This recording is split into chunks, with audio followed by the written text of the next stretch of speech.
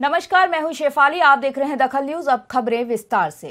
भानु प्रतापपुर में विशाल जनसभा को संबोधित करते हुए डॉक्टर रमन सिंह ने कहा कि मैं ये विश्वास दिलाने आया हूँ कि इस बार सरकार बनी तो भानु प्रतापपुर का विकास चार गुना होगा। देशव्यापी अटल विकास यात्रा के तहत डॉक्टर रमन सिंह ने कांकेर ज़िले के भानु प्रतापपुर में विशाल जनसभा को संबोधित किया और ज़िले के विकास के लिए जनता को एक सौ उनहत्तर करोड़ इक्यानवे लाख के विभिन्न विकास कार्यों की सौगात दी। सीएम ने यहाँ लगभग अड़सठ करोड़ पचपन लाख लाख रुपए के विभिन्न निर्माण कार्यों का लोकार्पण भूमि पूजन और शिलान्यास किया, जबकि विभिन्न हितग्राही मूलक योजनाओं के तहत उनके हाथों दो लाख सोलह हज़ार हितग्राहियों के लिए एक सौ एक लाख रुपए के से ज़्यादा की सामग्री और अनुदान राशि के वितरण की शुरुआत की। भानु प्रतापपुर में विशाल जनसभा को संबोधित करते हुए डॉक्टर रमन सिंह ने अपने सरकार के पंद्रह सालों की उपलब्धियों पर विस्तार से प्रकाश डाला। इस दौरान कांग्रेस के विकास खोजो अभियान की खिल्ली उड़ाई। उन्होंने कहा कि कांग्रेस ने केवल गरीबी हटाओ का नारा लगाया है और किया कुछ भी नहीं।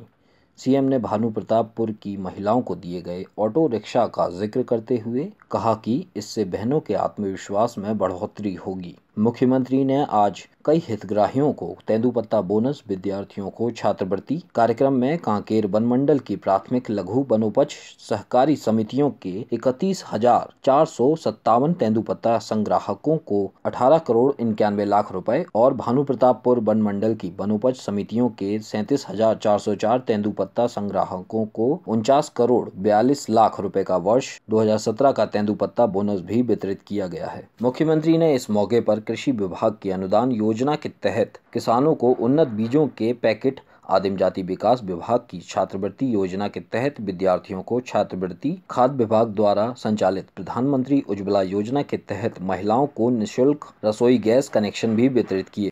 इस पूरी खबर पर जानकारी देने के लिए हमारे संवाददाता संजीव पचौरी छत्तीसगढ़ से फ़ोन लाइन पर जुड़ चुके हैं।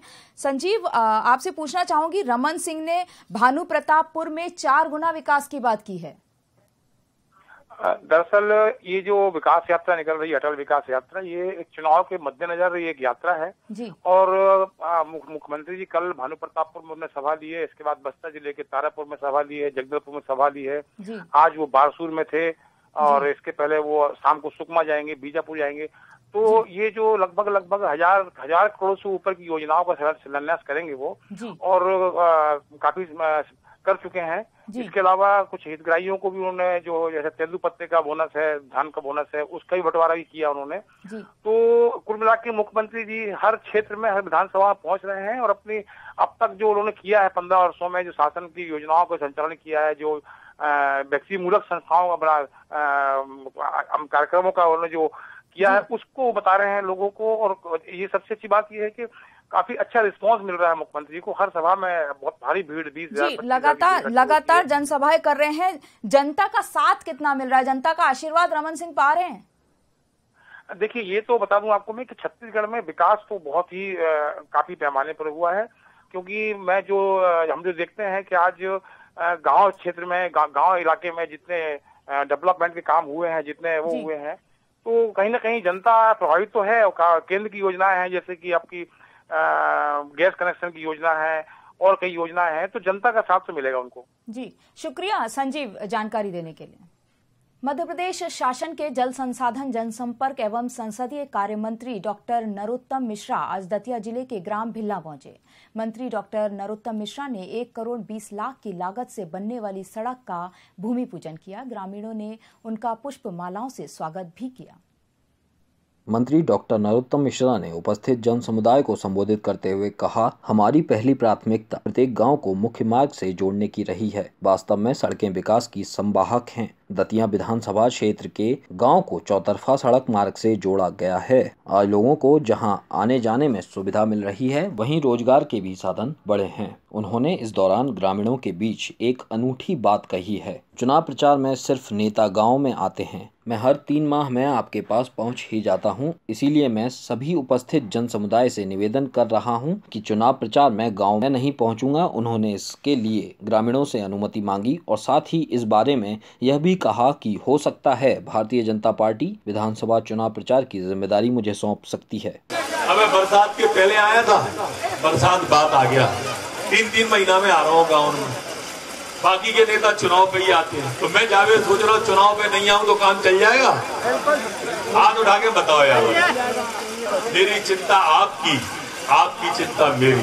मैं भिल्ला वालों आपको ये विश्वास भी दिला रहा हूँ, वचन भी दे रहा हूँ कि आने वाले समय में कोई भी दिक्कत आपको आएगी तो वो आपकी नहीं होगी, वो नरोत्तम की दिक्कत कोई भी परेशानी आपको आएगी तो वो आपकी नहीं होगी, वो नरोत्तम की होगी। संत हृदयराम जी के शिष्य सिद्ध भाव संत समाज के सानिध्य एवं मार्गदर्शन में भागवत कथा स्थल का भूमि पूजन संपन्न हुआ। संत हृदयराम जी की कुटिया के समीप कर्मश्री के संस्थापक एवं विधायक रामेश्वर शर्मा ने भूमि पूजन संपन्न किया। इस अवसर पर संत हृदयराम जी के शिष्यों सहित कर्मश्री के परिवार के समस्त सदस्य उपस्थित रहे। श्रीमद् भागवत कथा 2 अक्टूबर से 8 अक्टूबर तक चलेगी। कथावाचक श्री मृदुल कृष्ण शास्त्री होंगे। कथा का समय रोज़ाना दोपहर दो बजे से प्रारंभ होगा। कर्म श्री के संस्थापक एवं विधायक रामेश्वर शर्मा ने श्रद्धालुओं को भागवत कथा में शामिल होने की अपील की है और कहा कि 2 अक्टूबर को कलश यात्रा निकाली जाएगी। उसके बाद भागवत कथा का शुभारंभ किया जाएगा।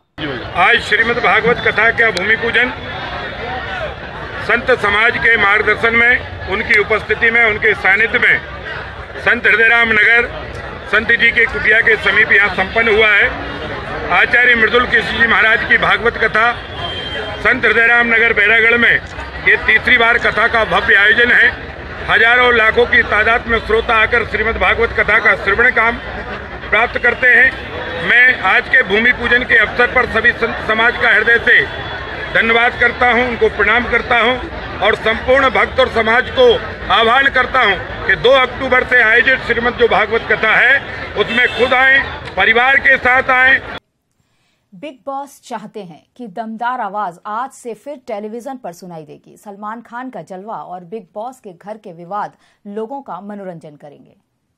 बिग बॉस आज रात 9 बजे शुरू होने जा रहा है। शो की शुरुआत से पहले सलमान खान ने गोवा में एक खास इवेंट पर बिग बॉस का आगाज़ किया था। गोवा में बिग बॉस 12 के लॉन्च इवेंट के बाद ये समझ नहीं आया था कि मुंबई छोड़कर इवेंट गोवा में क्यों हुआ। लेकिन अब इस बात का खुलासा हो चुका है कि गोवा में शो लॉन्च करने की बजाय बिग बॉस 12 का आलिशान घर था। घर के अंदर की तस्वीरें सामने आई तो पता चला, इस बार बिग बॉस 12 का थीम बीच हाउस है। हर बार की तरह एक बार फिर ओमंग कुमार ने घर का डिज़ाइन तैयार किया था। बिग बॉस हाउस को 300 लोगों ने 60 दिन में तैयार किया है। बिग बॉस के घर का इंटीरियर इस बार बेहद खूबसूरत है और लग्जरियस भी। घर के ज़्यादातर हिस्से का डिज़ाइन देखकर नेचुरल फीलिंग आती है।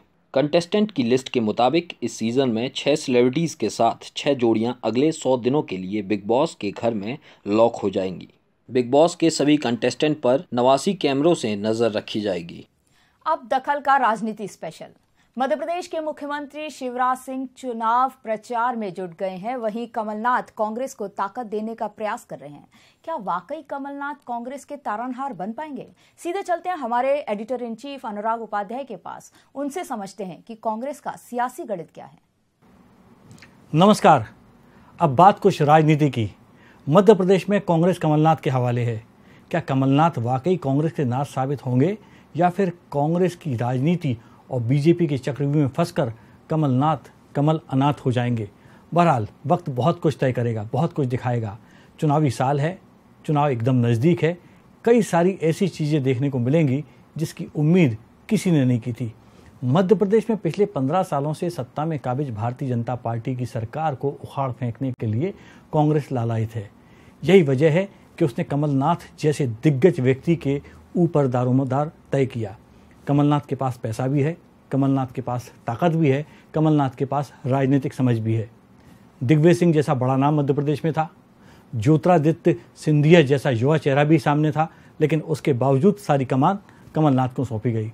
लेकिन कांग्रेस की जो तैयारियाँ हैं, वैसी नज़र नहीं आती जैसी होना चाहिए। यही वजह है कि भारतीय जनता पार्टी कांग्रेस को उतनी गंभीरता से नहीं ले रही है जितनी गंभीरता की हकदार कांग्रेस या विपक्ष होता है।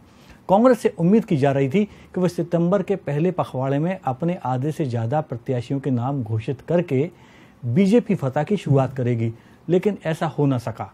बताते हैं कि तमाम सारे पेचोखम आ गए राजनीति में, जिस कारण चाहकर भी कमलनाथ पहली सूची को पूरी शिद्दत के साथ जारी नहीं कर पाए, जो नाम तय किए गए थे, उनके लेके कुछ ना कुछ विवाद के हालात थे। कमलनाथ अब तक कांग्रेस के भावी प्रत्याशियों के नाम तय नहीं कर पाए हैं। अब तक कांग्रेस ने सिर्फ़ 38 वर्तमान विधायकों के नाम टिकट के लिए तय किए हैं। कांग्रेस के इन 38 नामों को आप अपने स्क्रीन पर भी देख सकते हैं और इन नामों को देख के आप समझ भी सकते हैं कि ये वही नाम है जिनको तो हर हाल में टिकट मिलना ही था। दिग्गज कांग्रेसी कमलनाथ से उम्मीद थी कि वो कुछ नए प्रयोग करके कांग्रेसी राजनीति की दिशा और दशा को परिवर्तित करेंगे और वेंटिलेटर पर पड़ी कांग्रेस में जान फूकेंगे। मगर अब तक हालात में बहुत ज़्यादा सुधार नहीं है। कुछ जलसे सभाओं को छोड़ दें तो कांग्रेस उसी अवस्था में थी जो जैसी हालत उसकी अब से चार महीने पहले थी। कांग्रेस और कमलनाथ कुछ नवाचार करते तो मुख्यमंत्री शिवराज सिंह के लिए अब तक बड़ी मुसीबत खड़ी हो जाती और बीजेपी को भी अपनी राजनीति और रणनीति बदलनी पड़ती। लेकिन फ़िलहाल कांग्रेस बीजेपी से कमतर है, इसलिए बीजेपी की भी मनमर्जियाँ जारी हैं। कमलनाथ छिंदवाड़ा मॉडल से सब कुछ देखना और करना चाहते हैं, जबकि हकीकत यह है कि मध्य प्रदेश में छिंदवाड़ा मॉडल से भी ज़्यादा बेहतर बहुत कुछ हो चुका है, जो शायद कांग्रेस को और कमलनाथ को फ़िलहाल नज़र नहीं आ रहा है। अब बात करें कमलनाथ की आगे की, क्योंकि कमलनाथ अगर शिवराज सिंह के ऊपर लगातार आक्रमण करते हैं तो इससे अच्छा दूसरा मौका हो ही नहीं सकता। एंटी इनकम्बेंसी झेल रही बीजेपी सरकार के सामने भी खतरे कम नहीं है, लेकिन उसकी सबसे बड़ी सुविधा मुख्यमंत्री शिवराज सिंह चौहान का नाम है, जबकि कांग्रेस नामों को लेकर ही उलझन में है, और ये उलझन भी उस शेर की तरह है, वो शेर है कि ना जाने क्या सोच के अहले दानिश ने उलझाई हैं जुल्फ़ें। जितनी सुलझाऊं, उतनी उलझती जाती हैं। ठीक इस शेर की तरह कांग्रेस की हालत है। ये उलझन कमलनाथ के नाम से शुरू होती है, और ज्योतिरादित्य सिंधिया के नाम के साथ दिग्विजय सिंह के नाम पर जाके खत्म हो जाती है। मगर नतीजा शिफर है कि अगर कांग्रेस सत्ता में आई तो कौन बनेगा मुख्यमंत्री?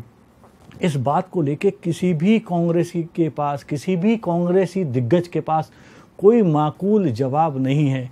जबकि अब जो जमाना है, जिस तरह का चलन राजनीति में है, लोग पहले चेहरा चाहते हैं कि अमुक व्यक्ति मुख्यमंत्री होगा, अमुक व्यक्ति प्रधानमंत्री होगा। उसके बाद लोग अपना मानस तैयार करते हैं वोट देने के लिए। इस चुनाव में कांग्रेस को 21 होना चाहिए था, लेकिन मध्य प्रदेश में फ़िलहाल वो 19 ही नज़र आती है। कांग्रेस के अंदर खाने से खबर है कि कमलनाथ ने तकरीबन 100 नामों की एक जिताऊ उम्मीदवारों की सूची अपनी समझ से तैयार की थी, मगर कांग्रेस की भीतरी राजनीति के चलते वह जारी नहीं हो सकी। कमलनाथ समर्थक बताते हैं कि अब जल्दी ही तकरीबन पिछहत्तर अस्सी नामों की सूची जारी कर दी जाएगी। कमलनाथ का भी कहना है कि इस पखवाड़े वो उम्मीदवारों की पहली सूची जारी कर देंगे। इस सूची में तकरीबन पिछहत्तर सीटें शामिल हैं। आपको बता दूँ, कांग्रेस का मानना है कि इन सीटों में अधिकांश ऐसी हैं जिसमें टिकट को लेकर किसी तरह के कोई विवाद की स्थिति नहीं है। लेकिन कांग्रेस में टिकट का बंटवारा हो और विवाद की स्थिति ना बने, ये संभव नहीं है। संभव लगता भी नहीं है, क्योंकि कांग्रेस के अंदर बहुत कुछ चलता रहता है। कमलनाथ के लिए ग्वालियर, चंबल, मालवा और बुंदेलखंड में टिकट बांटना सबसे कठिन काम साबित होगा, क्योंकि इन इलाकों में ज्योतिरादित्य सिंधिया और दिग्विजय सिंह के चाहने वाले बड़ी संख्या में हैं, और अगर उन्हें टिकट नहीं मिलता है तो कांग्रेस को कई सारी दिक्कतों का सामना करना पड़ेगा। कमलनाथ और उनके सलाहकार भी अभी तक सिर्फ़ छिंदवाड़ा के बारे में ही सोचते रहे हैं। इसलिए ज़रूरी है कि वह पूरे मध्य प्रदेश को लेकर कांग्रेस की सेहत दुरुस्त करें, क्योंकि समय कम है और काम बहुत ज़्यादा। कमलनाथ के कांग्रेसी कुनबे के हाथ में है कि वह कमलनाथ को कांग्रेस का नाथ बनाते हैं या फिर कुछ और। खैर, फ़िलहाल आज इतना ही। आप देखते रहिए दखल न्यूज़ दखल न्यूज़ आपके हक में। नमस्कार।